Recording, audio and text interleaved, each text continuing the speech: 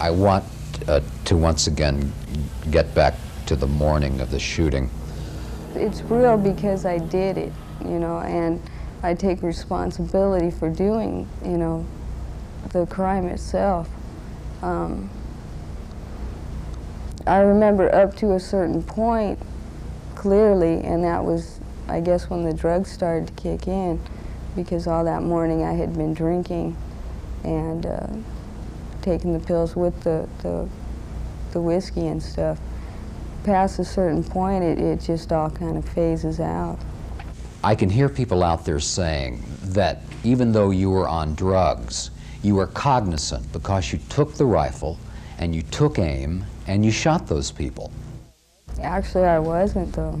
I really wasn't. And, and in the transcripts, how it, it came up that the, uh, the scope was set off and, and it wasn't firing right. The weapon itself wasn't even firing right. They, they had trouble aiming it, the police. And it was, you couldn't aim with it because of how the scope was. It was knocked off. So the implications of that are what I, I what I can figure out is um, basically I was just shooting at the commando types that I saw, and I, you know, I didn't realize that there was people back there behind that. I was, you know, I saw the commando types, you know, coming after me that I was hallucinating on, and from what I can figure out from the reports and all that, I was shooting at them and it, it didn't really dawn on me or, or sink in that, hey, there's people back there, you know, that are real people and stuff. So it's, it's not that I was aiming or taking deliberate aim. It was that they, they got hit because they were behind what I was seeing. In listening to you, I don't understand something. You were suicidal, you were on drugs, yet your father gave you a 22 for Christmas. Why did he do that? To this day, I don't understand that because the counselors had all told him that I was suicidal.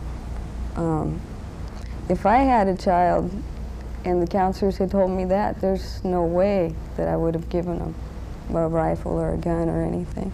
Brenda, what you're really remembered for is you saying, I hate Mondays. Did you say, I hate Mondays? I don't remember saying that. Um, right now, we're trying to find, get some evidence that, that I did say that. I'd like to hear the tape. And it, it really influenced how people saw me and, and thought about, you know, the whole case. It, it's just, I, I'd like to know that I actually did say that if I did. If you said that, it makes you sound cold-blooded. Mm -hmm. Yeah, and you know, on PCP, you're liable, you're liable to say anything. Brenda, what I have read is you have no remorse about all of this, but I sit here and you're filled with remorse. Well, it's not something that you just do and don't think about. You think about it constantly. You know, you're the cause of, of people's dying, and I really don't want to cause them any more pain.